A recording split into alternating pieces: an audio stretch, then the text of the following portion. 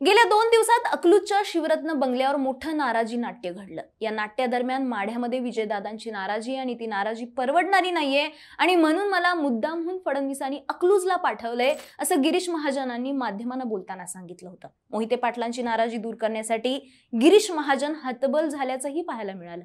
मी शब्द देणार नाही अन्यथा मी अडचणीत येईल अशी स्पष्ट कबुली महाजनांनी दिली. लोकसभेची एक एक जागा महत्वाची असताना मोहिते पाटलांची नाराजी भाजपला माढ्यामध्ये परवडणारी नाही आणि त्यामुळे आता जे काही होणार आहे त्यात फडणवीसांचा मेन रोल असणार आहे हे पक्क आहे. भाजप रणजित सिंह नाईक निंबाळकरांच्या उमेदवारीवरती ठाम राहणार की मग मोहिते पाटलांना शरण येऊन निंबाळकरांची उमेदवारी रद्द करणार हे लवकरच कळेल. म्हणूनच भाजप मोहितेंना उमेदवारी देऊ करेल का? माढ्यात रणजित सिंह नाईक निंबाळकर आणि मोहिते पाटील या दोन्ही नेत्यांपैकी कोण वरचढ ठरणार? कोणत्या नेत्यांमागे किती ताकद आहे? भाजप कोणत्या नेत्याला समोर करणार? की मग माढ्यामध्ये मोहिते पाटलांच्या दबाव तंत्रासमोर भाजप नमतं घेणार? आणि जरी भाजपने नमतं घेतलं आणि निंबाळकरांची उमेदवारी रद्द करून ती मोहितेंना दिली तर मग फक्त माढ्यातच नाही तर संपूर्ण राज्यातही भाजपला याचा फटका बसणार आहे. आणि म्हणूनच माढ्यामध्ये भाजपचा निर्णय काय असेल यावर सगळं राजकारण फिरणार आहे. नमस्कार मी मोहिनी जाधव आणि तुम्ही पाहताय लगावबत्ती. उमेदवारीवरून सुरू असलेल्या नाराजी नाट्यामध्ये माढ्यात रणजित सिंह नाईक निंबाळकर आणि विजयसिंह मोहिते पाटील या दोन्ही नेत्यांपैकी कोण वरचढ ठरतंय हे पाहावं लागेल. आणि यासाठी रणजित सिंह नाईक निंबाळकरांच्या मागे असणाऱ्या आमदारांची ताकद पाहायला हवी. महायुतीला नजरेसमोर ठेवून पाहायचं झालं तर त्याप्रमाणे सांगोल्याचे शहाजी बापू पाटील हे शिंदेच्या सेनेत आमदार आहेत. त्यांचा पाठिंबा भाजपच्या अधिकृत उमेदवाराला म्हणजे रणजित सिंह नाईक निंबाळकरांना असल्याचं कळतंय. करमाळ्याचे संजय मामा शिंदे अपक्ष आहेत पण त्यांनी अजित पवार गटाला पाठिंबा दिलेला आहे पण लोकसभेसाठी रणजित सिंह निंबाळकरांमागे त्यांची ताकद असणार आहे. माढा विधानसभेचे बबनदादा शिंदे आणि फलटणचे दीपक चव्हाण हे अजित पवार गटाचे आमदार आहेत. अर्थातच त्या दोघांनीही अधिकृत उमेदवाराला पाठिंबा दिलाय. उर्ले माळशिरसचे राम सातपुते आणि मान खटावचे जयकुमार गोरे हे भाजपचे आमदार आहेत. त्यांचाही रणजित सिंह नाईक निंबाळकरांना पाठिंबा आहे. या सर्व आमदारांशी बोलूनच भाजपने रणजित सिंह नाईक निंबाळकरांना तिकीट देऊ केलंय. म्हणून मोहिते गटाने नाराजी व्यक्त केली तरी त्यांच्या तुलनेत सर्वाधिक आमदार हे रणजित सिंह नाईक निंबाळकरांच्या पाठीमागे उभे आहेत. पण तेच धैर्यशील मोहिते पाटलांच्या मागे रामराजे निंबाळकर सोडल्यास इतर कोणतेच मोठे नेते किंवा आमदार दिसून येत नाहीयेत. थोडक्यात दोन्ही नेत्यांच्या तुलनेत भाजप हायकमांडकडून उमेदवारी जाहीर होणं आणि स्थानिक आमदारांचा पाठिंबा असणं यामुळं रणजित सिंह नाईक पाटलांचं पारडं या ठिकाणी जड दिसतंय. पण असं असलं तरी मोहिते पाटलांनाही दुर्लक्षून चालणार नाही. त्यांच्या नाराजीमुळे भाजपला फटका बसू शकतो कारण मागच्या लोकसभा निवडणुकीत राष्ट्रवादीच्या ताब्यातून माढ्याची जागा भाजपला जिंकून देण्यामध्ये मोहिते पाटील कुटुंबियांची भूमिकाच निर्णायक ठरली होती. मोहिते पाटलांनी भाजपला एकट्या माळशिरस विधानसभा मतदारसंघातून एक लाखाचं मताधिक्य मिळवून देण्याचा शब्द दिला होता आणि हा शब्द खरा ठरला होता.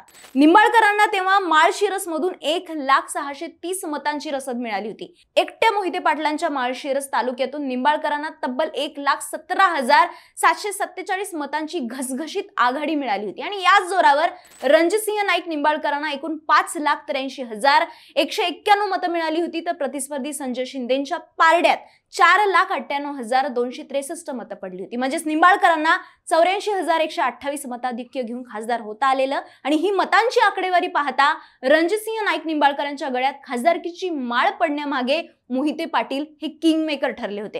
आता भाजपने जर रणजितसिंह नाईक निंबाळकरांनाच उमेदवारीवरती कायम ठेवलं तर मग माळशिरस मधून येणाऱ्या मताधिक्यावरती नक्कीच मोहिते पाटील फॅक्टर परिणामकारक ठरेल.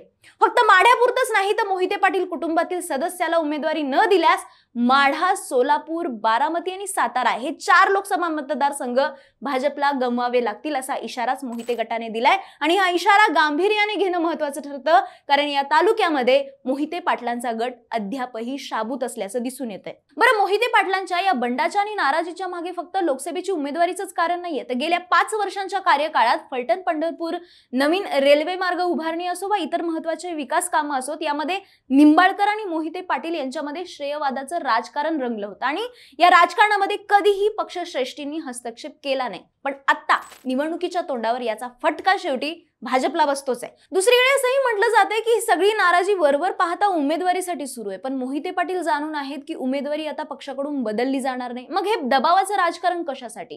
तर उमेदवारी द्या नाही तर मग विधान परिषदेवरती आमदार असणाऱ्या रणजित सिंह मोहितेंना राज्य सरकारमध्ये मंत्रीपद द्या अशी बार्गेनिंग मोहिते घराण्याकडनं सुरू आहे. कारण आमदारकी सोडली तर मोहिते पाटलांकडे दुसरं पद नाहीये. राजकीय पुनर्वसन होणं महत्वाचं आहे आणि यासाठी एकतर मंत्रीपद आवश्यक आहे नाही तर मग जनतेमधून निवडून येणं महत्वाचं आहे. आणि दोन्हीपैकी एकही गोष्ट नाही मिळाली तर मग पन्नास वर्षांपेक्षा अधिक काळ मोहिते पाटील घराण्याची सोलापूर जिल्ह्याच्या राजकारणात चालत आलेली सद्दी संपुष्टात येऊ शकते.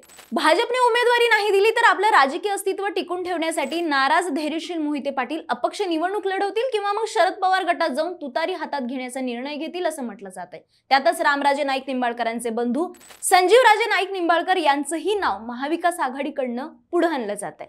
महायुतीमध्ये एकत्र असले तरी रामराजे नाईक निंबाळकर आणि रणजित सिंह नाईक निंबाळकरांचं राजकीय वय सर्वश्रुतच आहे. त्यामुळे रामराजे नाईक निंबाळकर रणजित सिंह नाईक निंबाळकरांचं काम करतील अशी स्थिती माढा मतदारसंघात नाहीये.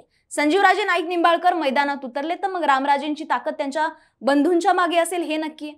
महाविकास आघाडीकडून उमेदवारी कुणालाही मिळो प्रामाणिकपणे एकमेकांना साथ देऊया असा शब्द इच्छुक धैर्यशील मोहिते पाटील आणि संजीवराजे निंबाळकरांनी एकमेकांना दिला या दोघांचीही नावं शरद पवार यांच्याकडे पाठवण्यात आली असून दोन दिवसात यापैकी एका नावावरती शिक्कामोर्तब होऊ शकतो असं सांगण्यात येत आहे पण जर का मोहिते पाटलांनी निवडणूक न लढल्यास माढा लोकसभा मतदारसंघात येणाऱ्या धनगर समाजातील चाळीस टक्क्यांपेक्षा जास्त मतदानाच्या भरोशावरती धनगर कार्ड खेळत दिवंगत आमदार गणपतराव देशमुखांचे नातू डॉक्टर अनिकेत देशमुखांना उमेदवारी देण्याचा पवार प्रयत्न करत आहेत असंही सांगण्यात येते पण पवार वेट अँड वॉचच्या भूमिकेत आहेत कारण भाजप बंडखोरीला किती महत्त्व देतं त्यावर शरद पवारांचा माढ्याचा प्लॅन अवलंबून असेल. म्हणून भाजप माढ्यामध्ये काय निर्णय घेईल हे पाहणं महत्वाचं आहे. कसं आहे भाजपमध्ये उमेदवारी देताना त्या त्या विद्यमान खासदारांच्या खासदारकीच्या कार्यकाळातील कामगिरी विचारात घेतली जाते आणि मग उमेदवारी देऊ केली जाते.